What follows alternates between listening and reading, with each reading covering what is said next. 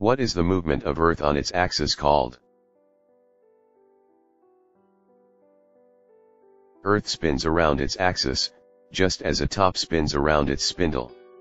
This spinning movement is called Earth's rotation. At the same time that the Earth spins on its axis, it also orbits, or revolves around the Sun. This movement is called revolution.